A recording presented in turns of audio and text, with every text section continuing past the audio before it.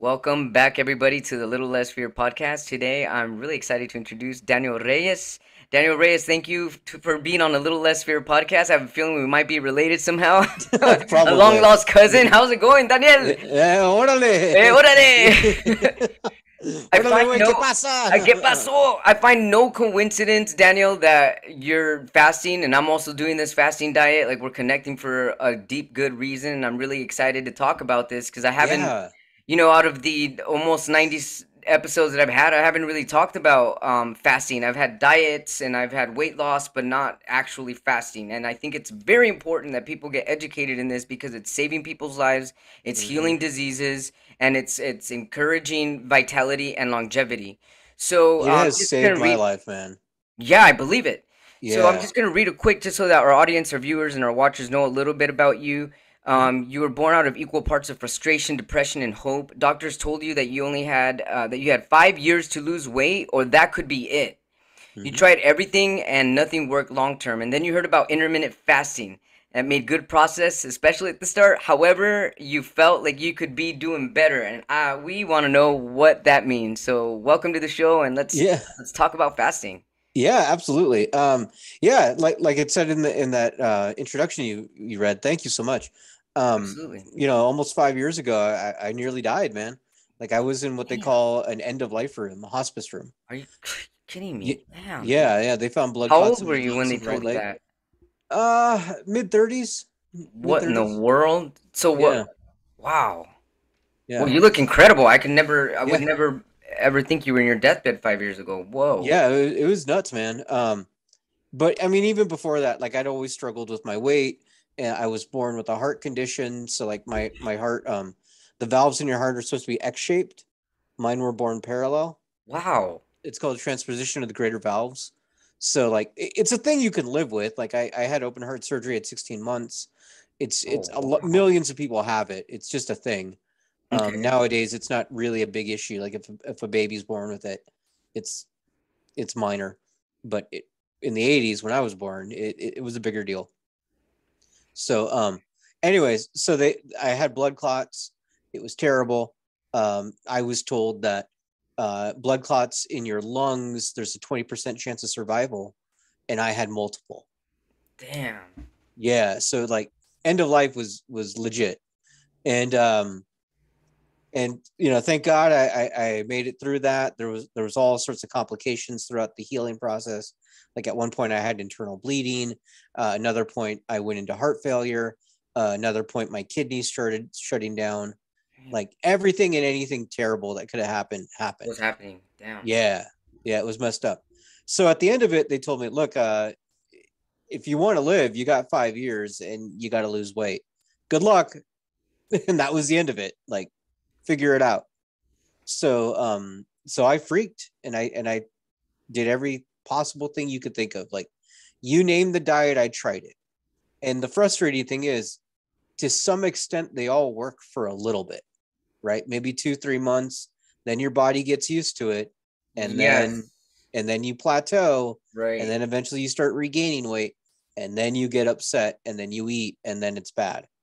So like cool. that that was the cycle. I mean, that was the cycle of my whole life, but more intensely when I had a five year clock over my head. Yeah, no kidding. Yeah. So uh, eventually, I even looked at weight loss surgery, and and the whole idea of just ripping myself open to to completely rearrange my insides so I wouldn't eat seems so extreme, but I was that desperate, right? Because sure. like I want to live. live. Yeah. Yeah. And uh and they they put me on this program. Uh, according to them, the the statistics said that on a three to five year timeline, weight loss surgery is only thirty percent successful. On a ten year timeline, it's only ten percent successful. Damn, so, I did not know that. wow. Yeah. So it sucks, right? Yeah. You're, you're sure. really the odds are against you. On top of that, most insurances do not cover it. So it is literally tens and tens of thousands of dollars to go do that yeah. out of pocket. Yeah. So, so then what happened? Were you like, you know what? Uh, how did you discover fasting when um, how did that come about? Yeah. So um so when I was doing the weight loss surgery or looking into it, they put me on a liquid diet, right? Mm-hmm. And the liquid diet, um, they said I was going to lose 40 pounds in a month only drinking liquids. And that was daunting to me because going from food to only liquids. But I did it and I went in and I got weighed in and they were very upset because I only lost 20 pounds. Wow, and they said clearly really I had cheat. That's still excellent though. Yeah, but you know, it wasn't what they wanted. Okay. So so they were pretty mad about me. And during that time, I had been following weight loss accounts on like Instagram and YouTube. Mm-hmm. Uh, people would had weight loss surgery as motivation. But you know, I like to say the algorithm is tricky, right? So you follow one type, it shows you another. Yeah. And so it started popping up people who had lost weight with intermittent fasting. Oh. And my my background is is uh, journalism. I did TV news for about ten years. Okay. I pick up on patterns, and I noticed those who had weight loss surgery, they were active and happy for about a year and a half. They had all their pictures and thumbs up and all that. But then after about a year and a half, a lot of those started not posting as much. And right? that's kind of when you realized, oh man, they probably fell back. Right. Whereas the intermittent fasting, a lot of them was consistent. Yeah. And living their life. So true. Now the trade-off was those who did the weight loss surgery, the first two, three months, they lost a lot more weight in the beginning. Mm-hmm. But then it that rate dropped. Whereas the intermittent fasting, it was consistent. And they stuck to it. Mm-hmm. So being that I still had at that point two years left on my clock, I yeah, two years. That's it. And I that's thought a lot of stress to live with too, to like have that is. dark cloud over you every time. Yeah, and and uh, I thought, okay, look, I can do this surgery. I know I can do it, but I've got two years. Let me try this. Let me at least give it a month, see what happens, at the very least. And I did it, and and it worked. And I lost 35 pounds in a month compared to doing what I was. Wow. Yeah. So what when you lost those those 35 pounds in one month, which is incredible fasting, what what was what was required of fasting? What did you do? So I you know, uh like I said, I do my research, right? Because news, that's my background. Mm-hmm. And uh and I looked into it and I looked at there's all sorts of different ways to not eat, all sorts yeah. of different like patterns right. and everything. So I started with 16.8 because that seemed like the most traditional. For and, for people that are listening to, to, this for the first time, do you mind explaining what you mean by 16.8? Yeah, so that means a, a 16 hour fast with an eight hour eating window. And that's not eight hours of continuous eating like a buffet, but that in those eight hours, you have an opportunity to eat. So maybe in those eight hours, it's two meals and a snack, right?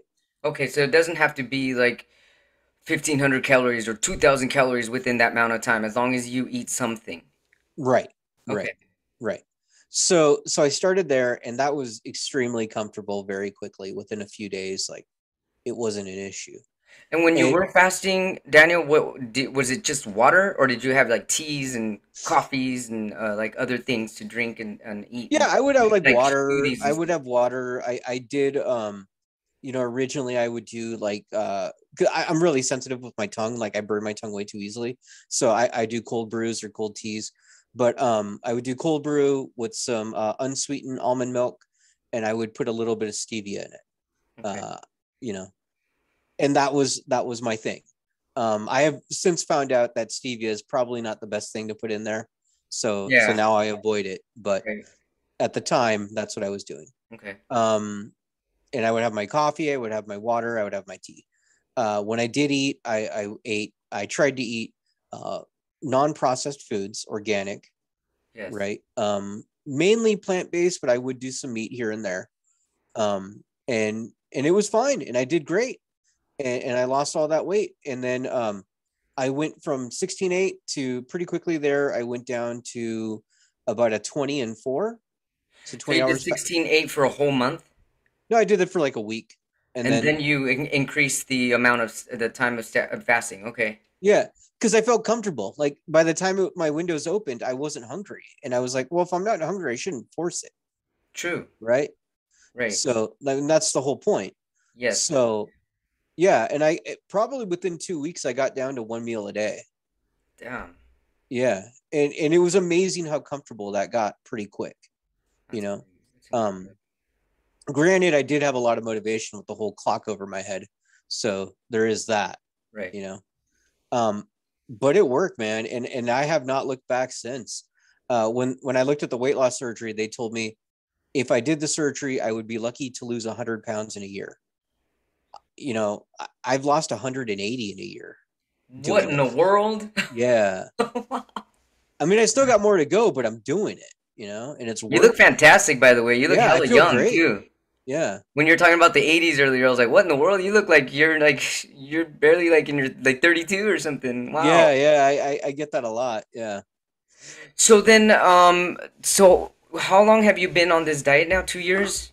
No, just over a year. A little over a year. Okay, great. And do you even call it a diet? I know some people uh, they hate that word. I personally don't like that word either. I kind of just, you know, it's kind of just like a new a new way of living. I mean, how do what do you call it? Yeah, I mean it's definitely a different lifestyle. Yeah, lifestyle. Uh-huh. Yeah, right. Yeah, I mean, do I fast every day? No, because I have my eating windows. Um, a couple weeks ago, I went out to Chicago with some friends for a vacation. You know, just a, a long trip.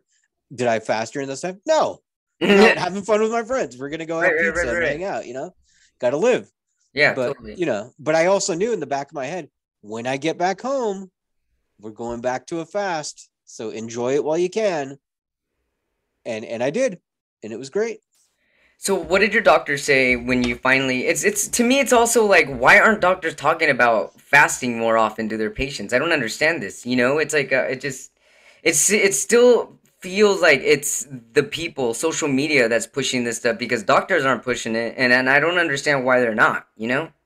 So I, have a I have a whole team of doctors because of all the ailments that I've had, right? So like, yeah, I regularly visit with a cardiologist. I regularly visit with a hematologist, a primary care doctor. All these people are all sure. in my life. Sure. Um, you know, the the entire five years, I would go back and forth trying different diets, right? So, in the last two cardiologist visits, uh, the most recent one was just maybe three months ago, but in the last two, my weight when I went to visit him was only like a 10 pound difference, mm-hmm. right?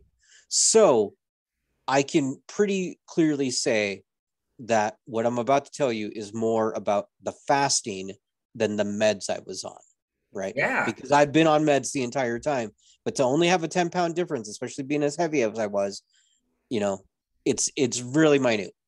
But the the previous time before the fasting, my heart was an EF of what EF is how they measure like the heart functionality. Okay. Okay. Um, the average person is in the 70s. An Olympian is like 85. Uh-huh. Nobody's at 100. Your body doesn't work that way. Okay. Uh, anything below 70 is considered heart failure. And then the lower it is, the worse the heart failure is. Right. Wow. So I was in a, in the 40s. Oh, damn. That, that time. Right. Damn. Not, not horrific because that's still considered he's alive, but it, you know, not good. Yeah. Right. This last time I went, which was just two, three months ago, my EF was 77. Whoa, high five, man. That's yeah. incredible. Yeah. Wow. You are yeah. 32 again. yeah. Yeah. Yeah. Damn. So big, big difference you know, uh, it was it the weight loss, was it the fasting? It's a little bit of both, probably realistically. Sure, course. You know, but but it's great to be there. Now, my my hematologist, I I have seen him.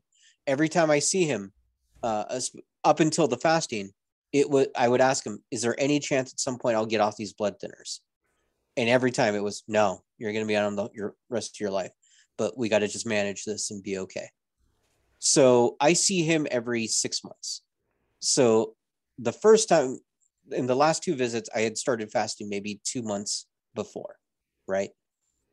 And only two months of fasting. I do blood work and he comes in and he goes, Your blood tests are perfect. And I was like, No, no, no. You mean for me, right? Like with all all the stuff I've got going on, that it's looking good. He's like, No, it's perfect. No more blood thinners. Well, still on them. Okay. Because that's only one test, right? He says we need to see, okay. we need to see uh, a good measure. This last time I just saw him, which was again maybe two three months ago as well. Um, he comes in, he goes, "Yeah, they're perfect still."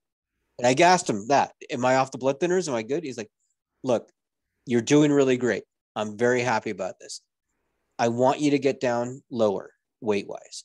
If you can do that and we can keep getting these good results, then we can talk about it. He's like, but but there's light at the end of the tunnel at this point. Oh yeah, I can see it too. Yeah. Wow. So what's your goal? I mean, you've already lost 180. Do you have a weight goal, or you just want to just keep going until you? I want to just keep going. Good? Uh, you know, for my height, uh, for a man, the ideal weight is between 130 and 150. Mm-hmm. I'm only like five five. Mm-hmm. So that that's tiny to me. that's like really yeah. tiny. So I, I don't I don't know if I'd get that that far. Also, I do like working out and lifting weights, so like muscle kind of changes that a little bit. So I don't I don't have a hard number, but I, I want to keep going. You know. Good for you. Yeah. Dang, Daniel, that's incredible. Yeah, right? Right? Heck yeah. Hey, I want to know. Um, we were briefly talking before we recorded. Um, we were recording about your idea behind fasting to mimic ancient eating patterns. Can you yeah, talk a little yeah. bit about that, just so that people get this understanding on how it even came to be or why it works? Yeah. So, so um, the whole point about fasting is to mimic what like cavemen and, and ancient people did, right? They didn't go down to 7-Eleven and go pick up a bagel or whatever, right? yeah, yeah. Uber eat some food. Yeah, Cheetos, Snickers, yeah. ice cream. Yeah, yeah, yeah, yeah. You know, they they didn't have those opportunities. They you were hungry, you got to go out there. You got to go, you know, take down an animal or find some food in the forest like right. you know pick those berries up yeah yeah yeah go go find a fruit tree something right? And so it seemed weird to me that even with fasting and mimicking by by reducing your eating opportunity, it's still set times, right? It's yeah. still like, oh, my window opens at 10, I'm gonna eat at 10, right? That's yeah. not what cavemen did. right. They didn't even have a watch. It's not like they're looking at their watch or their pocket watch and being like, yeah. Yeah. So I thought there had to be a random element to it, right? Sure. Because they were spontaneous about eating, they were opportunistic, they weren't scheduled. So I developed uh, these things fasting dice. Oh, cool. And you Great roll idea. them, and one side has your eating windows, one has your feeding windows, and you roll them and it changes them up as often as you want.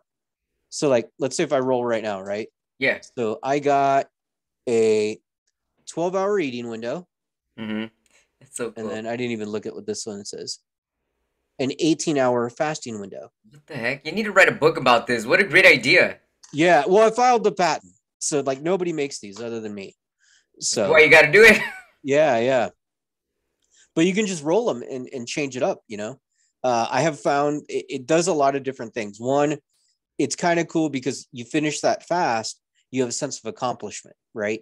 And so if you keep it up, you're going to build up your confidence, not only in your fasting, but what you're doing. So that helps. You also yeah. see the weight loss. That helps, right?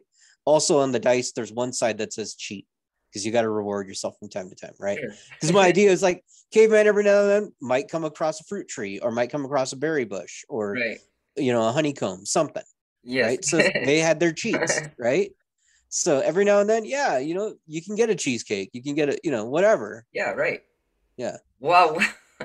Seriously, that's I've never seen well how creative that is. That's amazing yeah, I, I, I thought it was a cool idea. You know, and has anybody else followed that idea? Like, have you no, to any no, of your buddies or whatever? No, like I was really surprised. I looked online to see if like because I wanted to change up my windows. That was the initial uh start of this, and there was nothing online like this. Like I looked for like something like a tumbler or spinning wheels or something. Yeah. Nothing. And then you know, um, I like to play cards with my friends. I was like, well, you got to roll the dice. I was like, oh, that's a way to do it. And right. yeah, fasting dice was born. Do you know your blood type? Would you happen to know your blood type? Yeah, O positive. O positive. Okay. Because I don't know if you know, but I did. I read that whole book about blood types and exercise. You know the different types of, of food that's best for you and stuff. And I and sure enough, for A blood type, it says that I, I'm I'm an A blood type, and it says that I I will um I guess you could say that I will. What's the word I'm looking for? the best food for me is a is a veg vegetable veggie veggie and pescatarian based diet which of course i love my ceviche. You know i can't say no to that. So oh, ceviche's I'm like yeah for sure. But but some, you know what? It, some of those things actually did make sense to me because whenever i do eat meat like it constipates me or it's just harder for me to have a bowel movement. But if i'm just all fruits and vegetables and occasionally maybe some chicken mm-hmm. I'm good, you know. But the yeah. fasting for me has definitely been a game changer. Yeah, and there's a lot of science behind it. Like um, the the doctor who won the Nobel Prize in 2016, he proved the uh, the benefits of, of autophagy, and autophagy is reached by fasting. Like if you fast for more than 24 hours, you hit autophagy. And like he showed all these benefits. It's honestly like it sounds like a scam when you listen to it, but fasting's free. Like who's like yeah. nobody's making money off you, so it's not a scam. Right. But it's like it, it'll help with like uh, you know, of course, being overweight, but it'll help with like heart disease and Parkinson's and dementia and cancers and arthritis and like just all these things. There's all sorts of gut stuff. So like you're talking about, like yeah. it can help reset your gut. I mean, I it's done that for me. Like for a while there, I had a hard time with with hot foods, especially after coming out of the hospital. I couldn't eat spicy foods that I love. Yeah. And you know, doing the fasting, I can do them again now. It's great. Wow, that is incredible. Yeah, it's true. Yeah, definitely. So much research on that. It boosts your immune system. It helps your cells regenerate. All of your cells regenerate and um, it also gives you more energy. It's interesting because I've had people ask me like, "Do you feel like you have less energy? Or are you fatigued?" I'm like, "No, because you know I'm drinking water, or I have some supplements, or I'll have a mm-hmm. vegetable smoothie or whatever." But it's just not like a full on meal, and it's and it keeps me going actually. And yeah. I'm even able to exercise when I'm fasting. Yeah, me too. Me too. Like you know, I don't eat for days on end sometimes, and I still go to the gym. I lift weights. It's not an issue. Yeah, how incredible. What about your sleep? Has it affected your sleep? How was your sleep before versus now? I, have always had a hard time sleeping. Mm-hmm. It's just a, a, thing, you know, I have a hard time shutting off my brain. Um, but I have done meditation and that really helps with that. Oh yeah. Uh, the fasting though, like the longer I go, if I go days, uh, I do notice I don't sleep as much, but I'm not tired. Oh, whoa. Yeah. Like I'll, I'll sleep, you know, I'll go from like eight to, to six hours to maybe on a fast, you know, if it's two, three days, four days in, I might sleep like three or four hours, but I'm fine. I'm wow. not dragging. Yeah, it's weird. Um, yeah. And you know what? That probably has a lot to do with our bio- biologically the way we are as humans, uh, the way we are talking about like our an- ancient times. Because it was like back then too. Like if it was time to hunt and you heard animals like or whatever it was time to hunt, you you had to get your buddies up. Hey man, it's time to yeah. hunt. You know, like yeah. 3 a.m. We didn't get the full sleep. Let's go do it. So it yeah, kind of makes ready sense. to go. Yeah. yeah. yeah. Wow, that's this is really amazing. Seriously, this is great.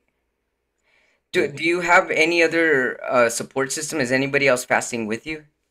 No, I, I pretty much do it by myself. I mean, my, my family and friends have been supportive of me. You know, I mean, I did, especially in the beginning, have to have hard talks about like, look, if I'm fasting, please don't offer me stuff because I don't, yeah. you know, willpower is hard, you know? Right. Right. Um, but, and there was a couple times like, please, you get, you got to not offer me those things at this time, you know? Um, you know, social events can be tough sometimes because, you know, maybe I'm in the middle of a fast and there's an event going on and, you know what, I just can't partake in that way. Like I can be there at the event, but I can't eat the food, you know? Yeah, especially during the holidays, man. That's so tough. It's like sweets here, sweets there. It's like big turkey well, here, and it...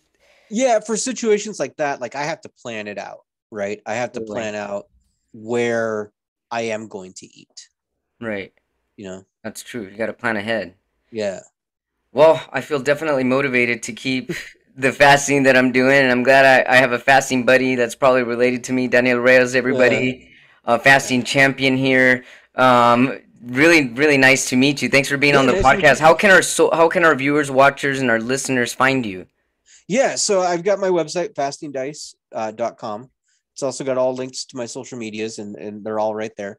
Um, you know, I've got the dice there. I also have a free guide that handles like the emotional aspects of, of weight loss. Wow, like, that's incredible. Thank you. Yeah. And so like people just put in their email address, it'll get emailed to you immediately. And it's that completely free guide. It's some of the tips I've used that's helped me lose so much weight. Like one of the ones, real quick, that's in the guide. Uh, I found out I was a very emotional eater right through the fasting. Yeah, most like, people are. Yeah. Yeah.